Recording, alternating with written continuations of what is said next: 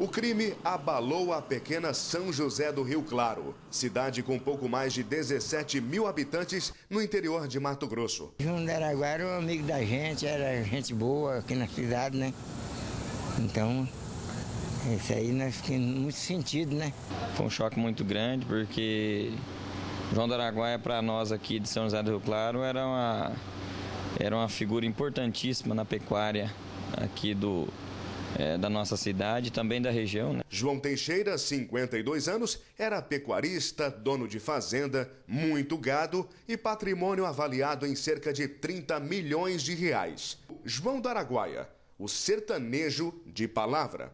João do Araguaia, para nós aqui, era um, uma pessoa que a gente se espelhava, porque era honrado e tinha credibilidade. Responsável por cerca de 40% de todos os negócios de gado no município, João do Araguaia comprava e revendia com muita facilidade.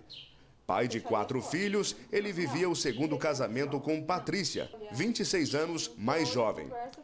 Mas uma tentativa de salvar o futuro deste frigorífico terminaria em tragédia. O frigorífico pertencia a Odilei Slovinski, homem de 31 anos que não conduzia bem a gestão da empresa e entrou com pedido de recuperação judicial. Na prática, seria o fim do único local de abate bovino voltado a pequenos pecuaristas. Mais uma vez, João usaria sua credibilidade para reverter a situação. O frigorífico já tinha falido uma vez e o João do Araguaia ele investiu cabeças de gado dentro desse frigorífico para que o frigorífico voltasse a funcionar e fossem sanar, saudadas as dívidas com as outras pessoas, outros pecuaristas. Vendo que o fechamento do frigorífico prejudicaria seus negócios, João do Araguaia tomou uma decisão importante: investir mais de 500 mil reais no negócio.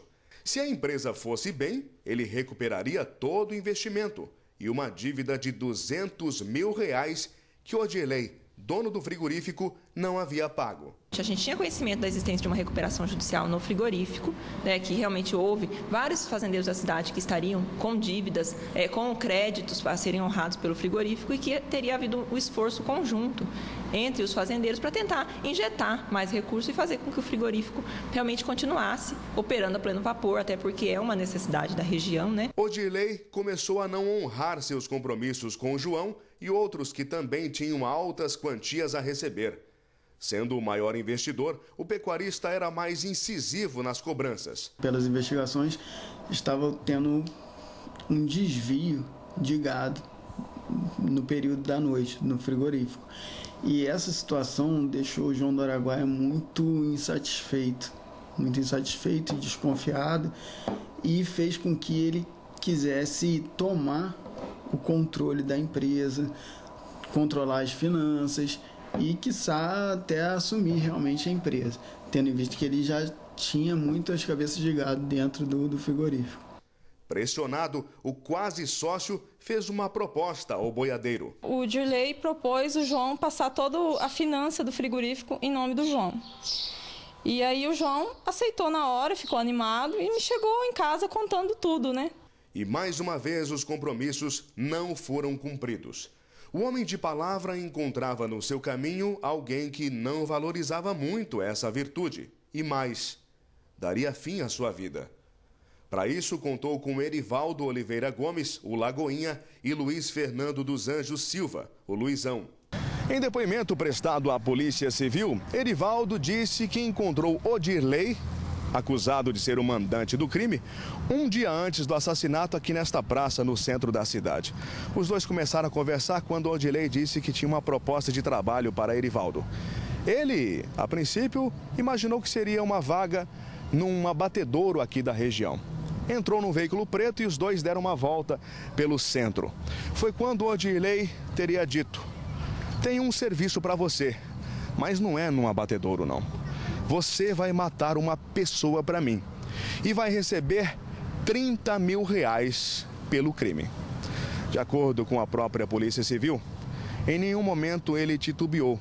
Erivaldo acabou aceitando a proposta.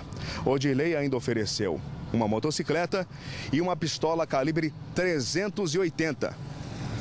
A partir daí, a morte de João Teixeira estava encomendada. A motocicleta teria sido escondida nesta mata na estrada de um assentamento rural. Pelo acordo feito um dia antes, Luiz pilotaria a moto, Erivaldo executaria e no final dividiria uns 30 mil reais. Dia do crime. João estava com dificuldades de fechar as contas e um amigo de longa data percebeu o comportamento estranho seis horas antes dele ser morto. Ele estava um pouco diferente do que era acostumado, porque ele estava com compromisso no banco e estava querendo acertar. Então isso ele estava um pouco diferente. Mas nós conversamos e aí ele saiu para ir ao banco. Já era noite, passava das seis e meia e João Teixeira, ou João do Araguaia, como era popularmente conhecido, estava na casa dele. O portão estava aberto porque, neste momento, ele acabava de fechar uma compra de gado. Já tinha assinado o cheque, estava voltando, mas do nada o telefone celular tocou. Ele pediu licença para atender a ligação. E o que aconteceu após isso? Eu tava, tava na moto, tava na moto aqui, né? Os dois rapazes pararam, pararam lá, ficaram atrás de mim, chegou atirando no João. Você estava aqui, aqui apoiado bem, na sua moto? Sentado em cima da moto. Bem aqui, aqui onde nós estamos. É, e o João estava lá de dentro. Enquanto o João estava sendo vítima dos disparos aqui na sua frente, você também correu para outro lado?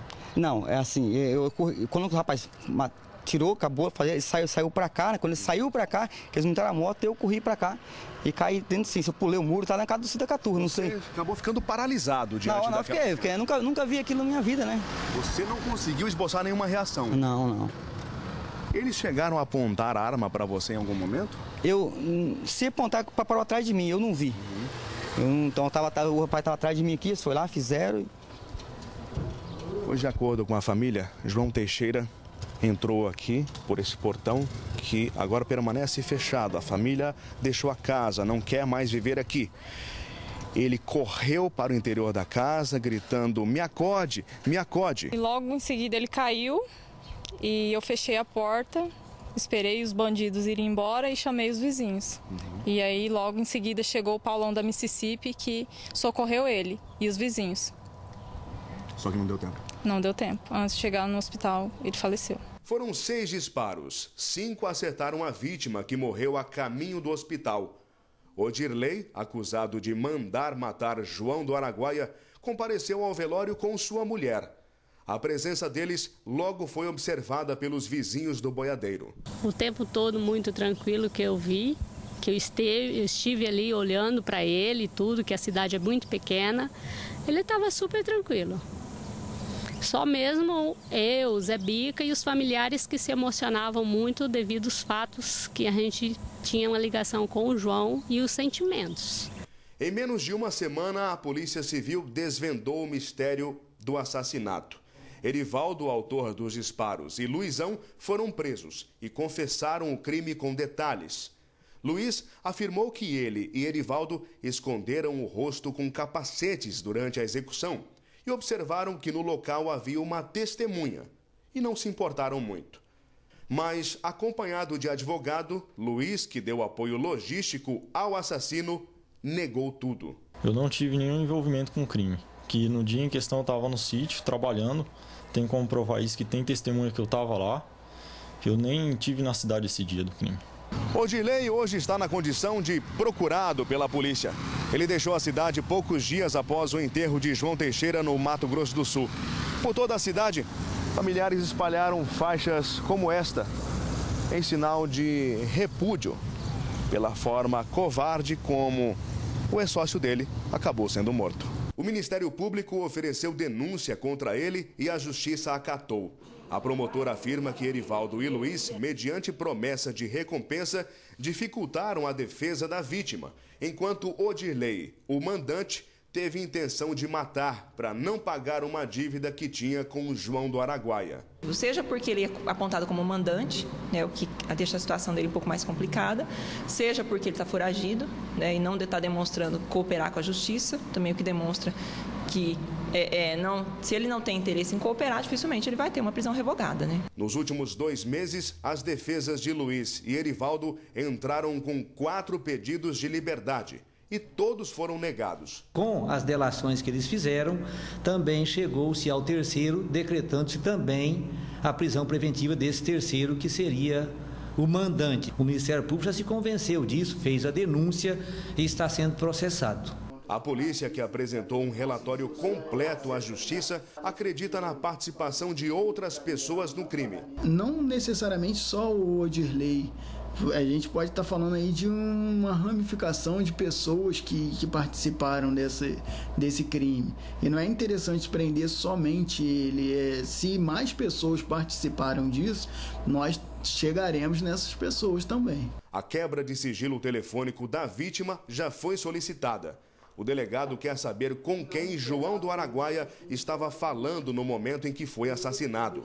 Sobre a ligação anterior, a esposa já sabe que João conversava com Ordirley, mas desconhece o assunto. O homem conhecido por falar o necessário e cumprir seus compromissos à risca pode ter sido morto a mando de alguém que não se importava muito com essas qualidades. Ele era muito amigo meu, era como um irmão meu.